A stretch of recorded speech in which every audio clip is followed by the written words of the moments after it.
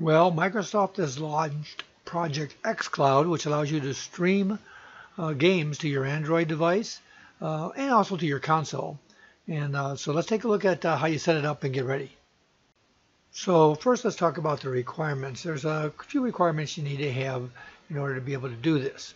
First, you need an Xbox One console. You need to join Xbox Insiders. You need an Android phone on 6.0 or above or a tablet with Bluetooth 4.0 and an Xbox uh, wireless controller. Lastly, you need a 5 gigahertz Wi-Fi or mobile connection.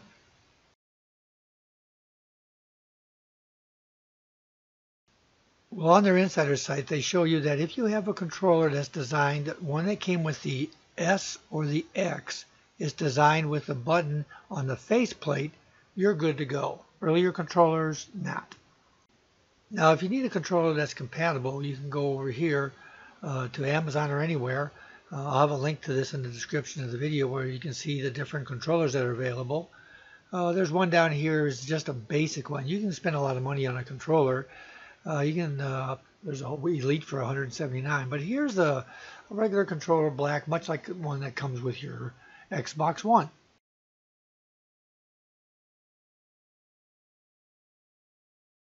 So as the date of this video, you have to actually go to uh, Xbox Insiders and or InsiderXbox.com to sign up for the uh, trial version.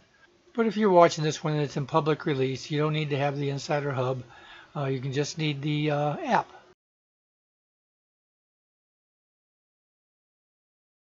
Okay, here's the app for game streaming on the uh, Google Play Store. Uh, and it'll be available for everybody. But if you can download it right now, uh, but you won't be able to use it unless you have a approved sign-in. But there should be no reason why you can't install it now. As a matter of fact, go ahead and apply to be on Insiders and then download this app.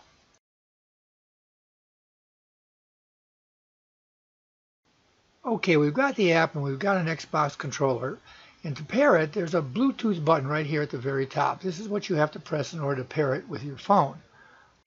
So you can do that manually, but here's what we're going to do. I'm just going to launch the app, and the app actually will detect whether or not you have a compatible controller installed. So you see here, there's Gears 5, so I'm going to click on that, and then it presents me the screen to play it. I say play. It says, oh, we didn't find a controller. So let's click on Bluetooth settings, and it'll take you directly to your Bluetooth settings here on your phone. And you go in here, and you have to, uh, it automatically start a scan, actually. So once it stands and you press that button we talked about, uh, then we'll see the actual connect. Now, depending upon your network and a few other things, it may take a bit. I had to do it twice to get it to come up.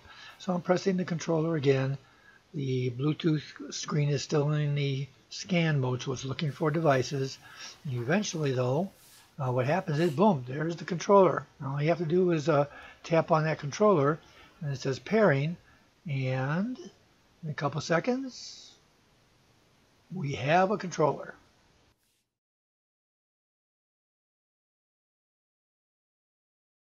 So now that it detected that, I can go ahead and go start the game. So if I press on gears again, uh, it comes in and pops up. There's the menu. And uh, I can see a little bit of the movement here during the menu selection. If I grab the controller, you'll see that I can control this just like I do in the game uh, on the Xbox itself. Before we get into gameplay, uh, if you want to back out and play a different game, you just hit your back button. A little bit out of focus here on uh, my video recording, but it's perfectly fine on the phone. You just uh, quit the application, you go back to the menu, and you choose a different game to play. So, now I'm going to apologize in advance here for my gameplay uh, on this. Uh, first of all, getting used to it. Second of all, it's resuming a game that I played on my console. So I, I was in a tight spot here, uh, and I had no ammo. So I'm going to get killed. So here we are. It resumes right from where my continue game on the Xbox left off. Now, hopefully I'm going to get a little bit better. But as you can see, as I move around, everything works just like it does on the Xbox. Streams to your uh, phone just fine. I'm doing this over Wi-Fi. And there I am with no ammo and getting my rear kicked. But as you can see, the graphics animation looks perfect. It's really amazing what they've done.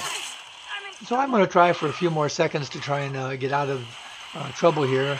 I'm not sure. I have no ammo that I know. Oh, there, I got some ammo. Switch guns. Up, oh, too late. Well, anyways, you get the idea. Okay, one more try. Well, what happens if you get killed in this, just like the game, if you get killed and they don't revive you, uh, you can actually uh, go back to the menu, do restart from checkpoint, just like you would in the game, and uh, everything will be fine. Now here's a little test I did a little bit later because I bought some earbuds uh, that I could do. These are rechargeable ones I got off of Amazon. The link will be in the description of the video. But as you can see, they're rechargeable uh, earbuds and they come with their own little case here. Uh, to see, because if you're in public and you want to play your game, you can have just carry around your controller, your phone, and you're going to need some earphones, either wireless like this or some others. Well, let's take a look. But real quick here, you just pair these. These are called S2 uh, earbuds. You would already have some paired, or uh, you would pair them first, and then they'll appear here, and you can get into your game.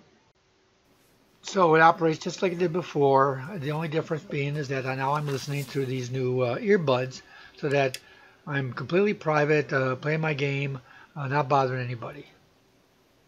So there you have it, uh, Xbox xCloud uh, streaming uh, using a controller, Xbox controller, an Android uh, 6.0 version or above phone, Wi-Fi connection on this particular case, or you can even have a a newer phone or a data plan that runs off of the new uh, 5G mobile uh, networks. However, uh, better have a good data plan.